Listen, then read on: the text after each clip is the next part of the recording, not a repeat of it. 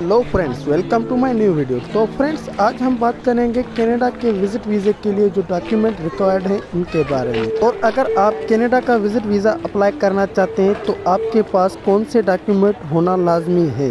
तो friends, Canada ने recently जो अनाउंसमेंट की है, आपका विज़िट वीज़ा वर्क परमिट में कन्वर्ट हो सकता है। उसके बाद बहुत सारे लोगों का इंटरेस्ट जा रहा है कनाडा विज़िट वीज़े की तरफ़। तो आज हम बात करेंगे कनाडा विज़िट वीज़े के डॉक्यूमेंट के बारे में। तो फ्रेंड्स, वीडियो को शुरू करते हैं। जल्दी से वीडियो को लाइक करके चैनल को सब्सक्राइब कर दो। तो फ्रेंड्स, कनाडा के विज़िट वीज़े के लिए आपके पास पासपोर्ट चाहिए, जिसकी वैलिडिटी कम से कम पाँच साल फाइव ईयर होनी चाहिए, क्योंकि जितने साल का पासपोर्ट होगा, उतने साल का आपका वीज़ा लगेगा। उसके बाद आपको ट्रैवल हिस्ट्री चाहिए एनआईसी कार्ड की कॉपी चाहिए पासपोर्ट साइज़ दो फ़ोटो चाहिए white background F R C N T S chamber certificate अगर आप कहीं पे जॉब करते हैं, और जहाँ पे आप जॉब करते हैं, उसका एन ओ सी और लास्ट टू ईयर की टैक्स फ़ाइल। के बाद आपको चार मंथ की बैंक स्टेटमेंट चाहिए और बैंक का लेटर। और अगर आपके पास कोई प्रॉपर्टी है तो उसकी इंग्लिश ट्रांसलेशन और फैमिली सर्टिफिकेट तो फ्रेंड्स अगर ये सारे डॉक्यूमेंट्स आपके पास हैं तो आप कनाडा के विज़िट वीज़े के लिए अप्लाई कर सकते हैं। कनाडा के विज़िट वीज़े के लिए आप ऑनलाइन अप्लाई करेंगे और इसकी फ़ीस 100 कैनेडियन डॉलर है। फ्रेंड्स आज का वीडियो इतना ही था। मिलते हैं अगली वीडियो में।